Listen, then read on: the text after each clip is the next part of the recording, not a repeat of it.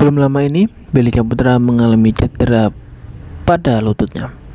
Hal itu lantaran dirinya sempat jatuh saat sedang bermain bola. Billy diminta beristirahat beberapa bulan demi mengembalikan kondisi kakinya lebih baik lagi.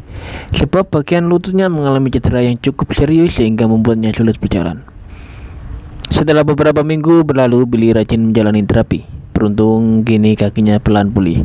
Billy tampak jauh lebih nyaman dan baik saat berjalan.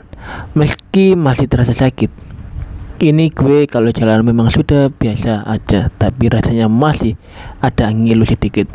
Awalnya rasanya ngilu banget karena di dalam lutut aku itu ada yang sobek. Nah, itu yang bikin sakit. Selain itu, Billy Saputra juga sebelumnya diminta untuk melakukan operasi apabila ingin sembuh total dengan cepat.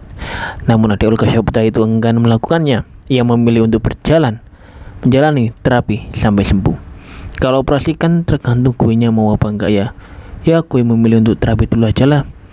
Belum lama ini nama Billy Saputra juga terjerat isu perselingkuhan di Jonathan Shanas. Lantaran Billy pernah membuat komentar soal Shanas yang tak pernah setia dengan satu pria. Pernyataan Billy Saputra itu ramai lagi di bas netizen.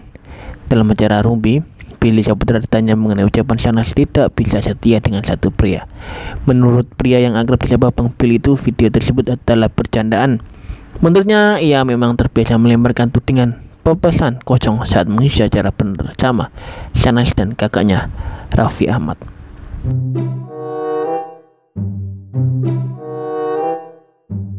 hari ini udah kayak zombie banget. Dari buka semalam. Udah nggak berdaya. Eh, nggak uh, ada tenaga. Kalau silent ngomong lebih baik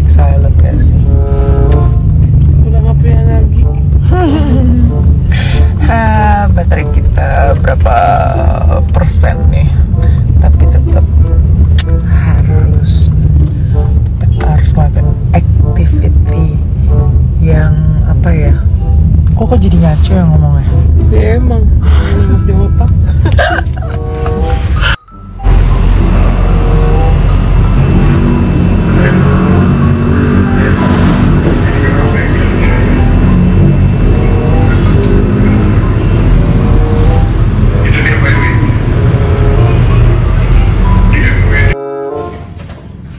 hari ini visio bawa orang tua. Jadi kenapa lutut sama pinggangnya? Lutut sama pinggang. Oh enggak ya. Jangan fitnah. Terus ini mau ngapain? Apa? LDL atau ACL. ACL. Ini kenapa-napa tuh, percaya omongan gue. Ini kenapa nih ke sini? Ini ini aja biasa, tinggal nunggu baju kimononya. Wah, bukan, beda tempat, beda tempat. Wi, Wi kasih tahu Wi. Aduh. Nih langsung kita bawa ke orangnya nih. The best nih Dewi nih. Tolongin ya orang tua gue ya. Maklum engkelnya udah tua. kasurnya yang mana?